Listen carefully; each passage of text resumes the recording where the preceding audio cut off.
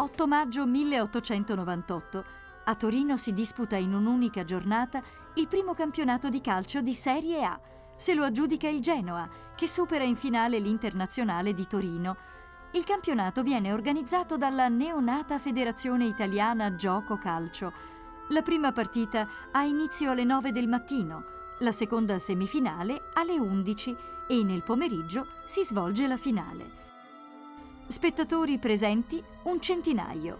Incasso 197 lire. Siamo agli inizi dell'era del calcio e il fair play è di rigore.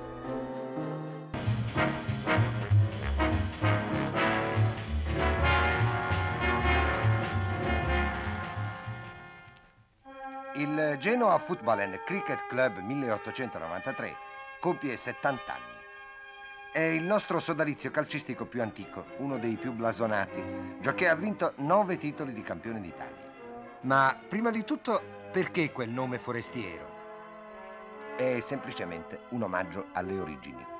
In Italia, alla fine dell'Ottocento, giocano al football soltanto gli stranieri. Il paese si è appena ripreso dalla batosta di Adua e lavora duramente, a Genova più che altrove.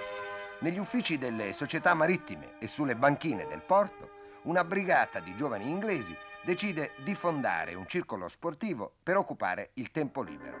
È il settembre 1892 quando nasce il Genoa Cricket and Athletic Club.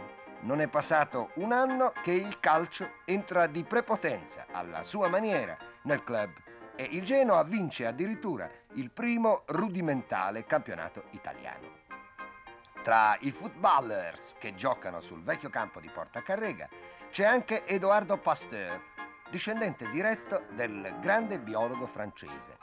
Il nostro era un campo con delle porte senza reti dietro e tutte le domeniche mattina prima della partita in due o tre con un annaffiatoio si segnava il campo con le righe normali.